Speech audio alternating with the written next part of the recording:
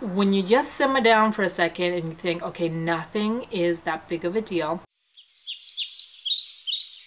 Hey everyone, I hope you guys are doing really well. I wanted to do a quick tidbit about feeling overwhelmed because by nature I am a very high anxiety person and I feel overwhelmed really easily. I feel like I'm kind of a high stress person and I do feel like that is kind of what triggered me getting the shingles as well.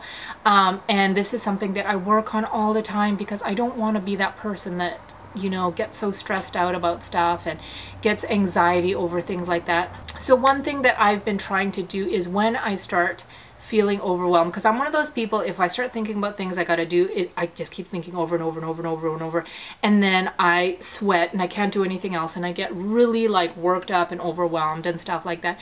So when I start feeling like that the first thing I do is number one usually I take a minute and I just pray. I'm like God just help me simmer down.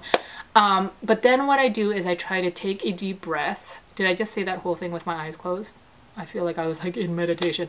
Um, I try to take a deep breath and then I make a list. I make a list of all those things that keep running through my mind because sometimes I feel like they're running through my mind because I don't want to forget things. I'm thinking, okay, I got to do this, I got to do this, I got to do this. So sometimes when you just write it down, you got you can stop thinking about it because it's written down, girlfriend.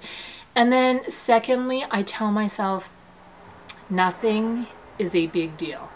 Sometimes when you think of the whole picture of all the stuff you gotta do, it's overwhelming because it's just this one big ball of stuff.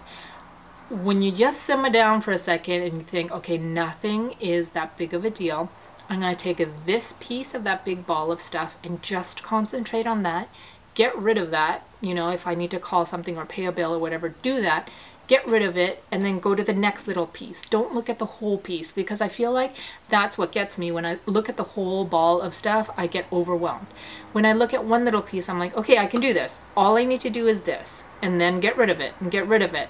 And then before you know it, that ball will be a lot smaller, and then soon it will be gone. So so what I do all the time is I tell myself, Jeannie, it's not a big deal. Nothing is that big of a deal. Just calm down and take off little pieces and, you know, chew those little pieces little by little by little by little instead of trying to do it all at once. And I feel like that really helps me from feeling overwhelmed and getting that anxiety and just taking that breath and writing things down, like making a list of stuff that I need to do. And there's also something for me that is so like oh, it takes a weight off of me when I check something off when I say or cross it out like done done done done and I just feel so much better once I do that. So anyways that was just a quick tidbit for you guys. I hope you guys are all doing well. Do not feel overwhelmed. Do not let yourself feel like the, the weight of the world is on your shoulders. You know what I mean? Just take it little by little.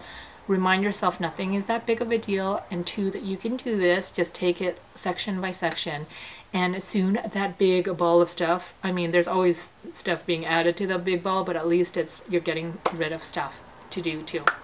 So anyways I hope you guys are all doing really well and I'll talk to you later. Bye